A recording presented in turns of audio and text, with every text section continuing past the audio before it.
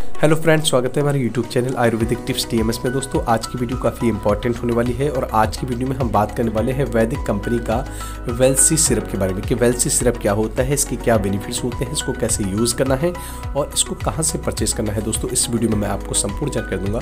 तो सबसे पहले हम जान लेते हैं कि वेलसी सिरप के जो इंग्रेडिएंट्स हैं वो क्या है। दोस्तों, इसके अगर इंग्रेडिएंट्स की अगर बात की जाए तो इसमें पच्चीस प्रकार के ऐसे इंग्रेडिएंट्स हैं जो काफ़ी इंपॉर्टेंट होते हैं। जैसे कि मैं आपको बता रहा हूँ, अशोका, अश्वगंधा, सतावर और इसी के साथ साथ में होता है। भूमि आमला लोधरा मुलैटी गोखरू आमरा जम्बू ऐसी 25 प्रकार के ऐसे इंग्रेडिएंट्स हैं जो काफ़ी इंपॉर्टेंट होते हैं। इसके फ़ायदे की अगर बात की जाए तो ये विशेष तौर पर महिलाओं के लिए बनाया गया है। ये बेलसी सिरप होता है। जैसे कि जिन महिलाओं को मासिक धर्म की प्रॉब्लम्स होती है, अनियमित मासिक धर्म होता है तो उस कंडीशन में क्या होता है कि अगर आप बेलसी सिरप को इस्तेमाल करते हैं तो ये मासिक धर्म को नॉर्मल करने का काम करती है कि वो स्त्रियाँ जिनके अबडोमिनल पेन रहता है, यानी कि पेट में दर्द रहता है, चिड़चिड़ापन रहता है, या यूटरस में किसी प्रकार की इंटरनल वीकनेस होती है तो उस कंडीशन में क्या होता है कि अगर आप वेलसी सिरप को इस्तेमाल करते हैं तो ये यूटरस को प्रॉपर तरीके से ठीक करने का काम करती है। वो महिलाएँ जिनको श्वेत पेदर की प्रॉब्लम होती है रक्त प्रदर श्वेत प्रदर तो ऐसी कंडीशंस में भी क्या होता है कि वैदिक एंटरप्राइजेस कंपनी का अगर आप वेलसी सिरप को इस्तेमाल करते हैं तो ये काफ़ी इंपॉर्टेंट होता है। वो महिलाएँ जिनको खून की कमी रहती है, चिड़चिड़ा बन रहता है, भूख नहीं लगती है,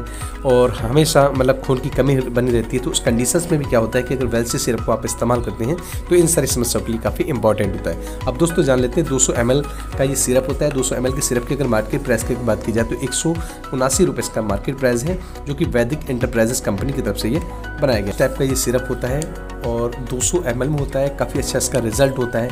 अगर आप इसको परचेज करना चाहते हैं तो मैं इसमें डिस्क्रिप्शन में इसका लिंक दे दूँगा आप वहाँ से इसे परचेज कर सकते हो। तो जान लेते हैं वेलसी जो सिरप होता है इसके डोजेस के बारे में। डोजेस की अगर बात की जाए तो तीन से चार चम्मच आप इक्वल वाटर मिक्स करके आप खाना खाने के बाद सुबह शाम इसको इस्तेमाल कर सकते हैं। तो दोस्तों आशा करता हूँ ये मेरी वीडियो आपको ज़रूर पसंद आई होगी।